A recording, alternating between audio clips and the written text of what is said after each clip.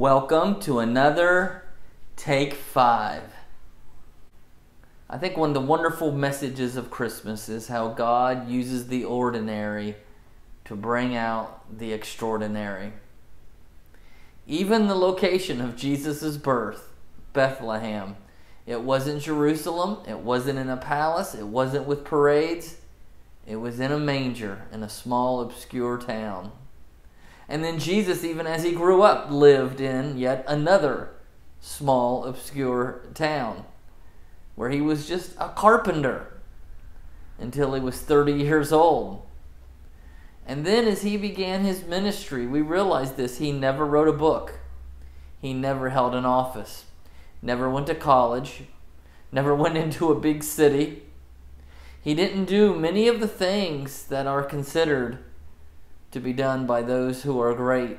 He was 33 years old. All of his disciples ran away. One of them even denied him. He was handed over to his enemies, and then he went through a mock trial. He was buried in a borrowed grave after going through the suffering and torture of crucifixion. But Jesus' life was anything but ordinary. It was extraordinary as he loved others, as he performed miracles, making the lame to walk, the blind to see, curing diseases, raising the dead, and he himself walking out of that tomb. So many centuries have come and gone, and today Jesus is still the central figure of the human race. He is the one who has changed life for all mankind for all time. Of all the armies that have ever marched, of all the navies that have ever set sea, of all of the parliaments that have ever set, of all of the kings that have ever reigned, and all of the leaders ever put together, none have ever had the effect on mankind that Jesus has had.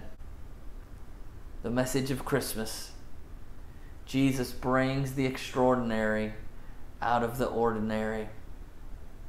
Jesus being born in Bethlehem. Jesus being born to Mary.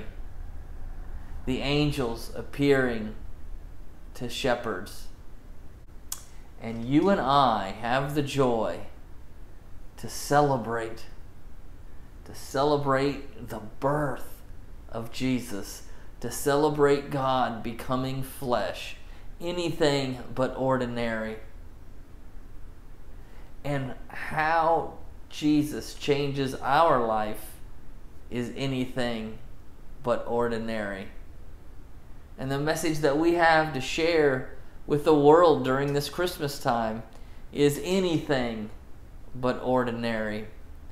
Because God takes the ordinary and brings out the extraordinary. My prayer is that this is not an ordinary Christmas for you.